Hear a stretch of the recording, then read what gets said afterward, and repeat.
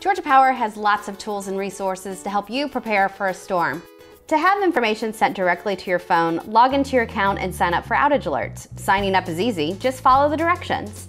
You can also sign up by texting REG to 42797, then hit send. You'll need your Georgia Power account number to continue. To stay up to date during a storm, follow us on Twitter with the handle at Georgia Power. Visit georgiapower.com slash storm for lots of videos, checklists, and helpful tools and resources to help you get prepared.